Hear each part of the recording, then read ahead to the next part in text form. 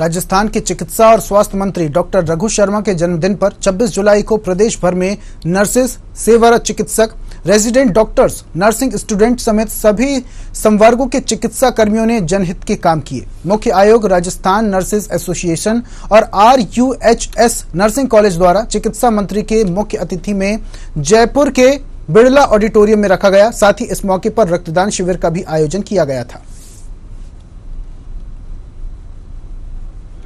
Gracias.